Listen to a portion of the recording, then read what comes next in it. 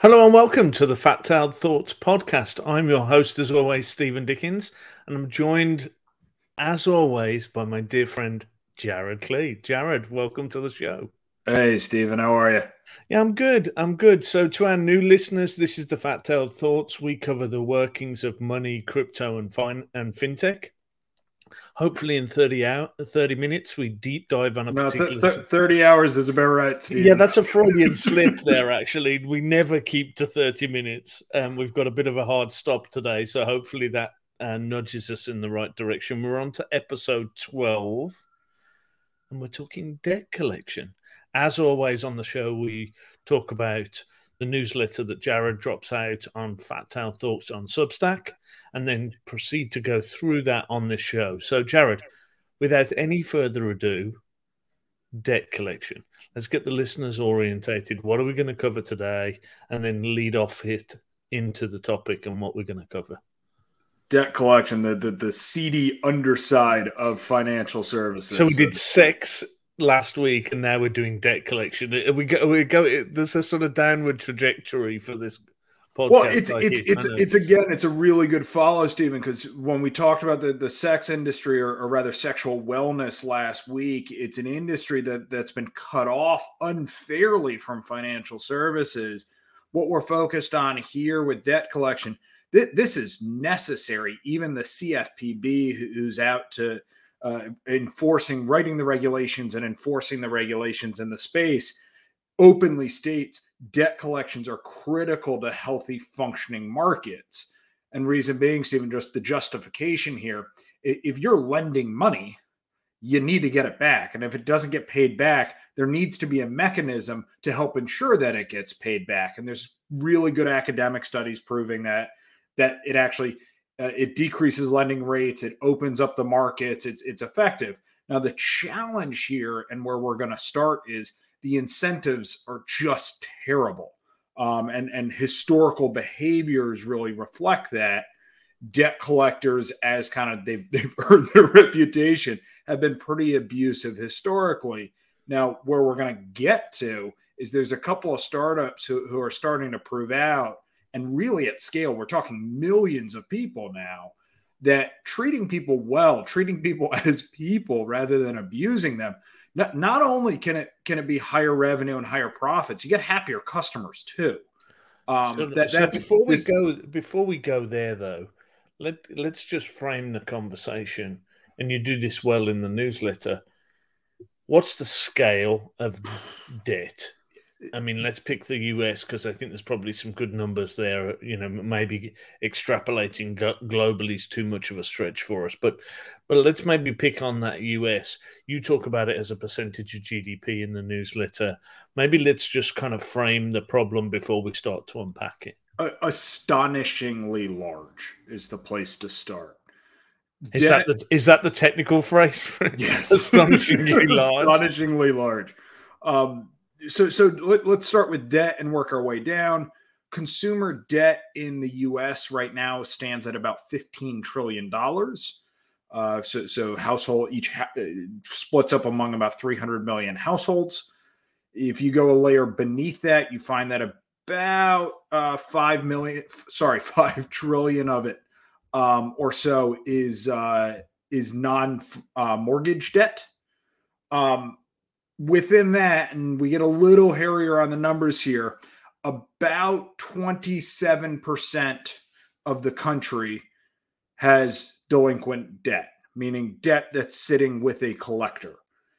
Steven, even if let's, let's assume that was twice as many as it's supposed to be, we're, we're talking tens of millions of people. At, at 27%, that's 89 million Americans. I mean, th- this is called a quarter, even at a lower bound, called 15% of the country. This is an astonishing portion of the country that has debt with collectors who, who are notorious for abusing. So, so when we talk about the ability to affect change, we, have talked about financial wellness companies. We've talked about uh, brokerage companies who are democratizing investing. We could talk. We, have talked about the wealth transfer and and people like Wealthfront that, that are helping build new products. All of which is wonderful the scale of the ability to make meaningful change in millions of people's lives debt collection is about as big as you're going to find anywhere. And this is credit cards, mortgage payments, medical bills, you know, things you bought on your MasterCard or your Visa card.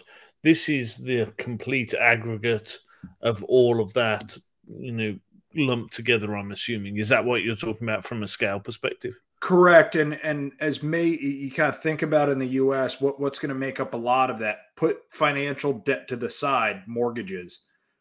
The, the biggest driver of debt and collection, Steven, medical. It's unexpected medical bills. Now, what gets interesting here, in this we're going to find this drives on the dynamics. These actually aren't, in the absolute terms, really big debts. The average debt and collections is around 300 sorry median debt and collections is around $360 this isn't massive thousands of dollars i didn't expect it. These are really ordinary kind of everyday month by month uh, payments but if they hit at the wrong time if you thought you only had to pay three payments but turned out to be four payments you had to make etc it can find its way into collections and that just becomes a, a tumbler of bad experience so before we get into the innovation that's going to happen in the market or is happening in the market, which I think is going to be the latter part of the podcast today, maybe talk us through what the traditional landscape looks like.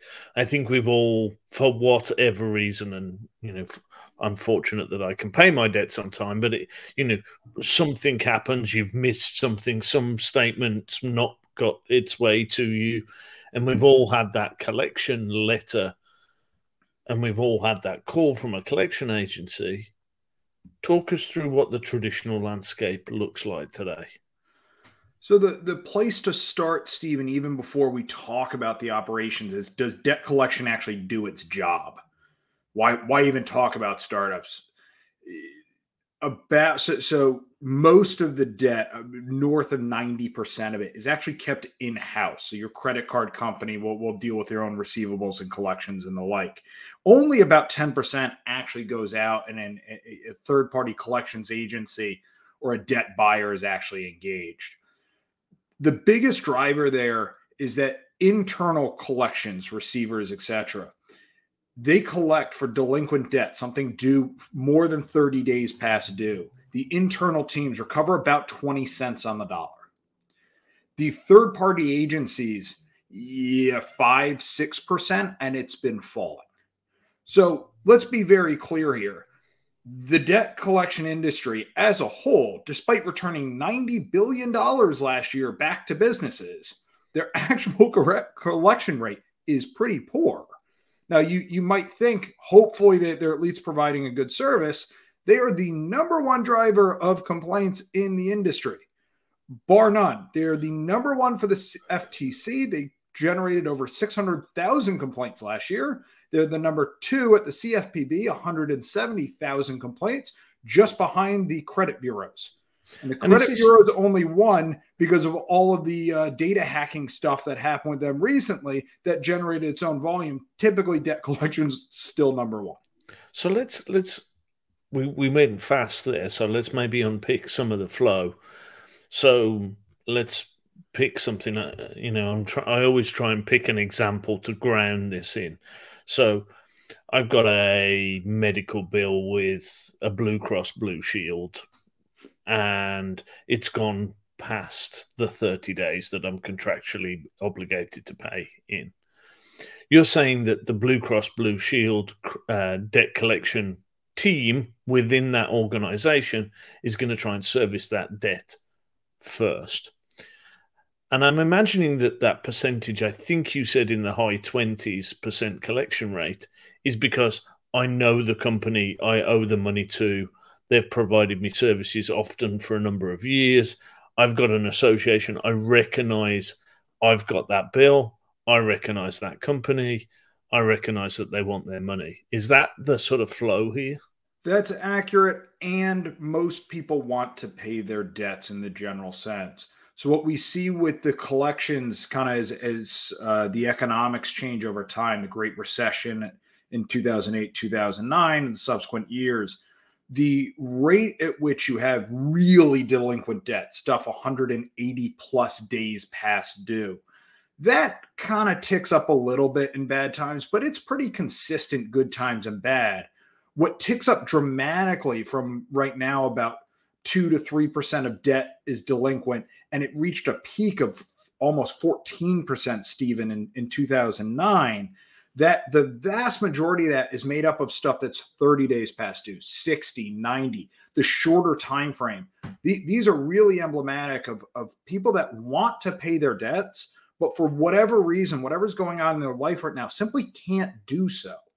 And this becomes an underpinning of, of the startup mentality here of what if we assume people want to and what if we treat it as a way to help them?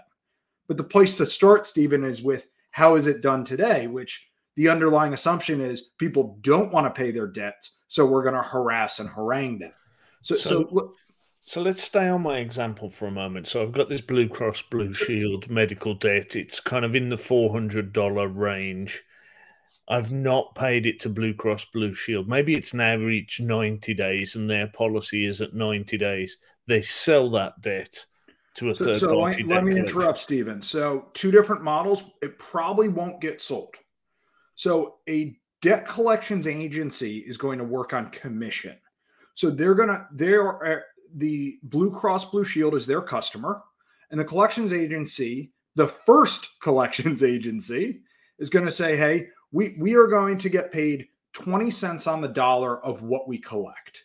So if we collect 200 of Stevens 400 owed, we're going to take $40 for ourselves we're going to send 160 back to you, Blue Cross Blue Shield. Now, that's just the first collections agency. They're going to tell Blue Cross, we're going to try and collect this for the next 45 days. I'm making it up. If they fail to collect it from you in 45 days, Blue Cross Blue Shield is going to go to the next collections agency. They're going to try again. Then they're going to go to a third, then to a fourth, often to a fifth collections agency on average in the credit card industry, which is the biggest single uh, places, you're looking at seven to eight collections agencies for every credit card issuer. So a Chase, a Bank America, the like. So you can imagine this gets bounced around time and time and time again. So this isn't Steven just a couple of phone calls to you in the first couple months. It's to be one agency, then another, then another, then another. This is you're getting bounced all over the place with no ability to choose who you work with, how you work with them, the like. And that was what came across most as I say, all of us have had one of these types of letters, probably just down to bad administration. You know, you moved something, either the card that you had set up has has got lost, and you've set a new card up, and you know we've all had these things happen. But I think what was revelatory for me from the letter was just as you say, the sheer amount of people in this space, and what happens you know, typically I'll see one of those and go, "Oh my life, I should pay this," and then it I'm paid, and I'm not seeing the multiple agencies. It's the first one of, "Oh, I'm with a debt collection agency. I'll pay that today. I something's happened." But I think it's the interesting piece that you mentioned of this can go round and bounce around various places. But I think the most, and I'll use this as the pivot to the second part of the conversation. I think the most interesting thing for me was the default mentality for these debt collection agencies is you're a bad actor and you don't want to pay. And it's set up programmatically in their tactics, in their approach, in their whole methodology that you're a bad actor and you don't want to pay. And I think what you highlighted in the letter, for me, most startlingly, was if you flip that and think about it differently, namely, you're a good actor and you do want to pay, let me help you pay, there's the opportunity. Am I reading that right? You're reading that exactly right. And let's just put some hard examples to it. So right now, so th- there are a whole series of regulations on the book. Reg F is is the biggest of them, but that's at the federal level. There's more at the state level, and there's often more at the local level. So this becomes a difficult to navigate for anybody. If we just take a, some of those regulations along with kind of traditional bank policies, so that you don't abuse people, don't abuse people, right? Um, let's take give an example. I mean that that's that's a key starting point for that. That if a company's sort of methodology and approach and mindset is, oh, I'm going to stay, try and just stay right. one click to the left or the right, whichever way you look at it, of a set of regulations which is designed to stop abuse of customers that's not a good place to start a it's, business. It's not from... a good place to start, and and the the results speak for themselves. So so a debt collector is restricted in what they're allowed to say to somebody they're collecting debt from. Typically, that will happen via uh, mailed letters or via phone calls. Phone calls, I don't pick up if I don't know the number of the person, if they're not my contacts. The average rate at which people at which a debt collector gets a hold of the right person is 0.5%.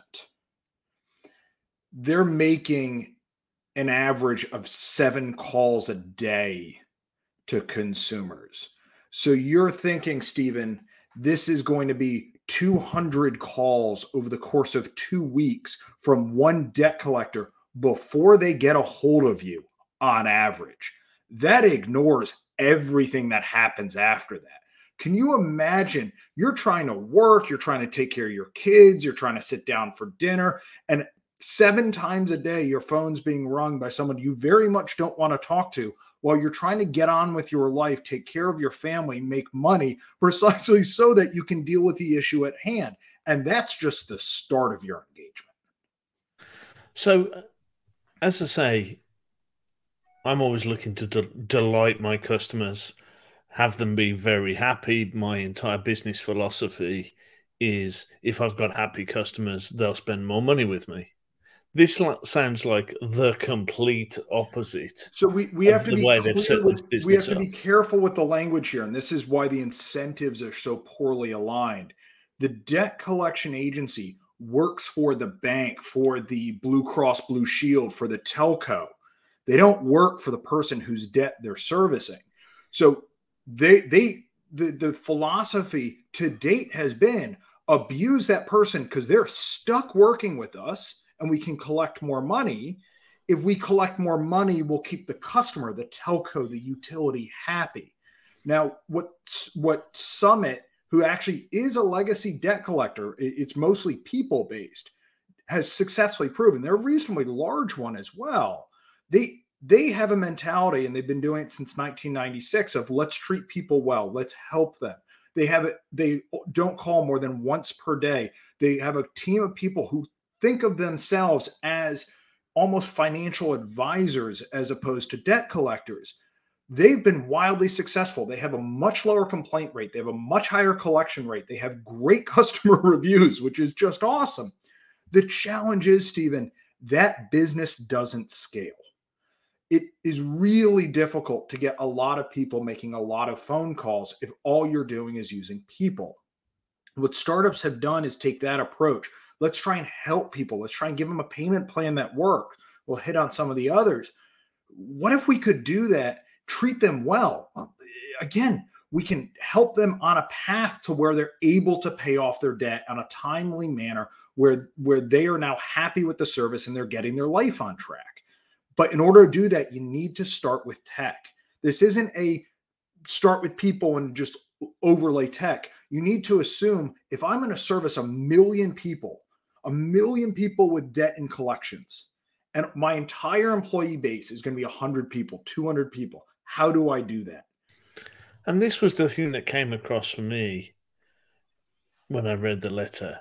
The traditional debt collection agency is telephone based and trying to get a synchronous conversation to happen. This is me trying to call you, you picking up, us engaging in a conversation.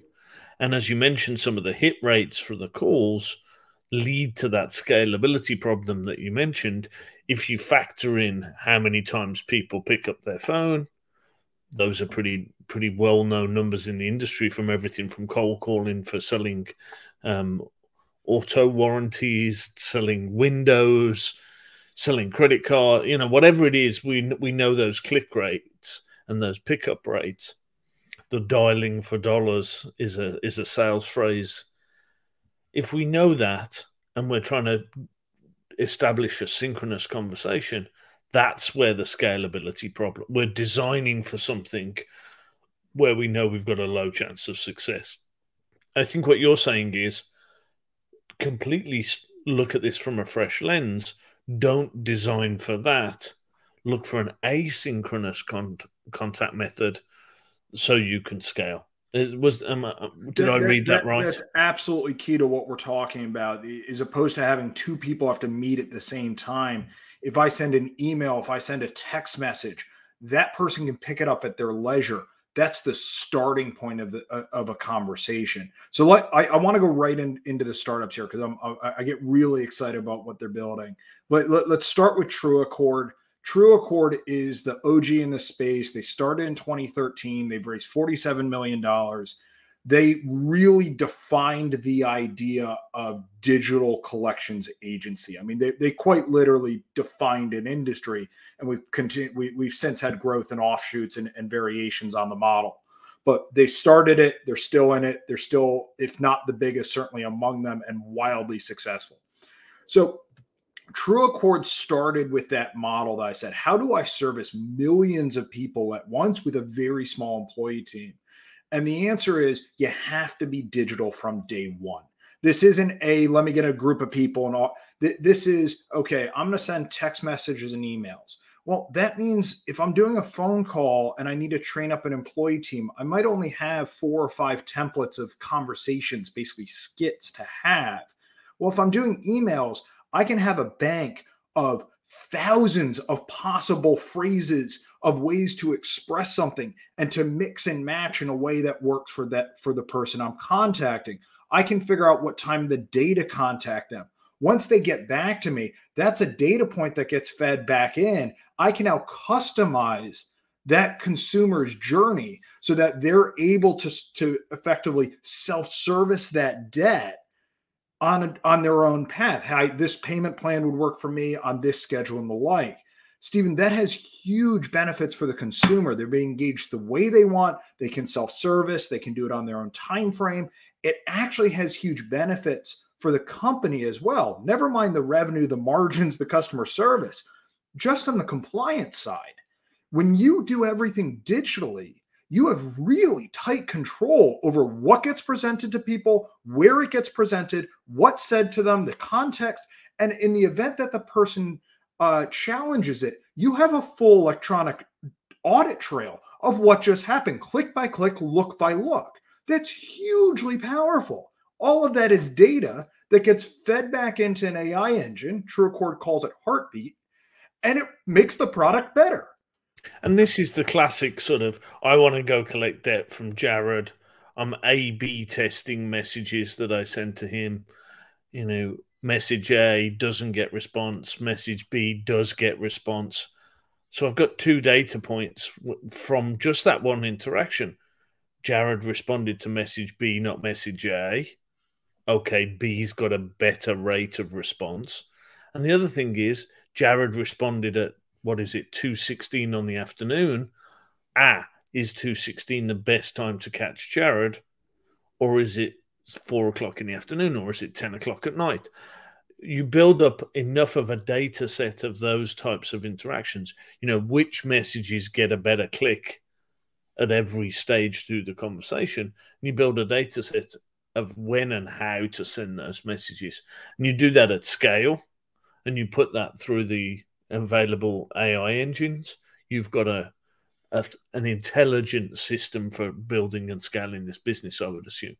Correct, and the, the, the, results speak for themselves. You, you talk scale; they, they've worked with 24 million consumers, Steven. I mean, it's a huge 24 million is a huge number. Throughout all that, they, they, they are uh, Better Business Bureau accredited. They have an A rating.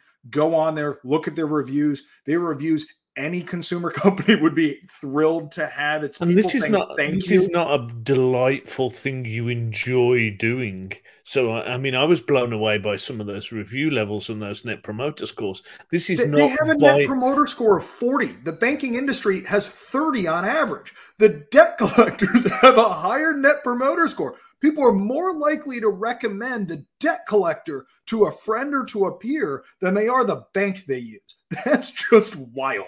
Yeah, I can't imagine a scenario where I'm going to be happy to recommend a debt collector. But but, but that's the thing. TrueAccord has built their business around the idea of we are helping people. We are helping people build their financial fitness. We are providing a financial wellness service. It just happens that the person is having trouble servicing their debts. How do I get them back on the path where they want to be? And how do I give them the tools they need to get there? That's what it is. It, yes, it falls under debt collections, but it's no different than how do I build wealth? Well, this is this is starting a business from the fundamental different place to the traditional. This is people are good people, and how can I help them? As opposed to where the debt collection agencies used to be, people are bad people, and how do I screw and extort money out of them? And, and those are two very different mindsets. Completely different mindset. I, I, I want to take that TrueAccord story a, a, a bit further because they, they really have done.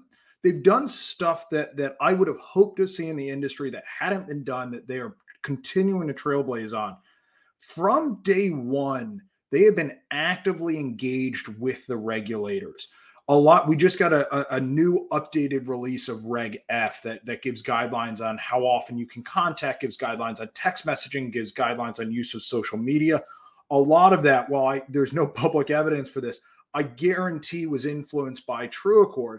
True Accord, one of the co-founders, Ohad uh, Ohad uh, Samet, who just moved up, he's now CEO of the holding company, used to be CEO of TrueAccord proper uh, he was the uh, the CFPB stood up a uh, consumer advisory panel in 2017. He was the only representative of the debt collections agency to be invited to serve on the panel. California this past year just stood up their own consumer uh, financial advisory panel, broader. He is the only representative of the debt collections agency to sit on that. He, he, the company, the people in the mm-hmm. company, not only are they building a good product, they're actively working with the regulators behind the scenes to say, how do we lift the standard for the entire industry? I mean, that is hugely powerful stuff. So, if that's the case, and I don't know TrueAccord, but I, I'm starting to become a fan of their work just from this podcast, why is if somebody drops onto an idea that works, their collection rates are higher, their business model is more scalable, and they're driving a better um, outcome for all of the constituents in you know both the end customers and ultimately I'd imagine a better reaction from the people they're collecting debt for. Are we seeing more companies in that space? Are we seeing because that to me as a found you know an entrepreneurial type mindset person thinks hmm that's a business that's working. Let's go copy that business and and into so that we, same market. We are so where we started, and let's kind of talk about the, the where the industry's gone that that they've they've trailblazed. First place we saw real movement is abroad, and and that's kind of a classic strategy in fintech. As I said, the regulatory environment is complex. You have to. It took TrueAccord, even with a strong team and and strong backers, strong funding, over two years to get licensed in all 50 states. I mean, it's a lot of work. And it's a tremendous amount of work as well because the regulators had never engaged with a debt collector who did things digitally. So you're as much educating the people you're working with as you are applying for the license. And that takes time. Now, so InDebted start a few years later out in Australia. So they basically took the TrueAccord digital collections agency model, but went in their own nice cordoned off playground, have done a wonderful job in Australia, have since expanded to New Zealand, uh, Canada, and then in the past couple months are now in the US. And again, a hit back on kind of the, the, the hurdle that regulations bring here. They moved into the US via acquisition. So they bought somebody that already had the licensing. I want to be clear here, Steven. I'm not knocking the regulations. In general, they've done a pretty good job in preventing consumer abuse. Now, there are always exceptions, and there's lots and lots of room for improvement. But the most egregious things really are kind of written out of the industry. That said, the same kind of complexity and nuance of that does create a huge barrier to entry for other people that want to join. So InDebted started abroad where they had time to grow rather than compete in a market TrueAccord was was already building in. Other startups more recently have taken a different approach entirely. Rather than deal with the regulatory burdens themselves, as well as having to have people in house, the collection agents, they've just built the tech. So that's quite an interesting model. And it's actually often a better fit for Silicon Valley. It's higher margin business. It can be more difficult to go to market because you don't have your own team. You have to sell into uh, the, the credit cards, the, the, uh, the, the medical companies, the like. But it's a mod you get that same data feedback in that same continual improvement and you're making their collections teams better so as always we can carry on talking for hours um, and that's the joy for me of these uh, podcasts but as as the arbiter and the the sort of voice of the listener i try and keep us to our moral let, contract let, let, me let me put one one closed as, as we wrap up here because it's it's it's a really cool story so, so uh, Prodigal started in 2019. They're just software. They're helping improve efficiency, manage the teams, the compliance, the data backend, continual improvement. One of their biggest clients, they grew 8x last year. They just raised a Series A, so hat off to them. They've been doing really good work. One of their biggest clients is TrueAccord. So you're watching this industry come back around and again look to continual improvement things, Steven, on the horizon I'm particularly excited about. They're continuing to grow. TrueAccord uh, in the last couple months just launched their own tech only platform to help businesses, but they launched something called Engage, which is relatively new. It's it's just being built. It's I, I want to give the concept rather than the product. They're focused on how do I give the consumer the ability to choose the debt collector they work with. They're creating a marketplace for debt collection agencies to compete so the consumer gets to choose. That completely changes the incentive structure. That's going to, if successful, that's going to allow the consumer to say, You've helped me. You've got me back on track, Mr. Bank, Mr. Whatever business. I would like to work with that agency because they are helping me pay you. That is so powerful and that flips the whole dynamics of who is the customer and that flips the whole incentive structure you know if this debt collection agency's helped me three times in the past and i've got a new debt i'd like them to help me with that debt that changes who the debt gets sold to that changes the structures very interesting dynamic and it sounds like it's too early with TrueAccord to see whether that's caught on yet but interesting thought process around flipping the incentive structure and flipping the whole dynamic. Agreed. So take us home in 30 seconds. Where do you see this part of the industry going? This is a, as we start at the headline with the numbers, Steven, there is $15 trillion of consumer debt outstanding. There are some re- huge fraction of that currently at three, as high as 14 in, in 2009 is delinquent. The ability to go help people here is tremendous. The bar is set so low for what is good service. I am wildly optimistic that TrueAccord, that receeve, that Prodigal, that the companies, the startups building here will continue to do so. One, creating a better recovery rate for the businesses. Again, when, when you're setting it in single digits, the, the ability to collect more of the debt is should be easy done right. But two, and critically, start treating it like a way to help people rather than abuse them. And that groundwork has already been laid. We've seen if you can do it, if you can do it at scale, not only do you collect more, people are happier. They want to work with you. And that is a wonderful, wonderful place to be. You get up every day, you're able to help people get back on track, rebuild their lives, and get on with whatever they want to do. That is just awesome. And I'm hugely optimistic. And that's a fantastic pace for us to finish. You've been listening to the Fat Tailed Thoughts podcast brought to you by myself, Steven Dickens. I run the um, good news section of our service here. So if you've got any good news, you want got some good feedback, you want to promote us, you want to click and subscribe, you want to tell your friends, and you want to share that at Steven Dickens three. The um, negative comments part of our team here is run by KleeBeard on Twitter. All joking aside, we'd love you to engage with the podcast. We're on episode 12 this week and we're trying to grow this show. Please click and subscribe. And if you really like the show, give us a review. Those really help with the rankings and bringing this to more audience. We'll be back next week where we bring you more from the Fat Tailed Thoughts team on the makings and workings of money, fintech, and crypto. Thanks very much for listening.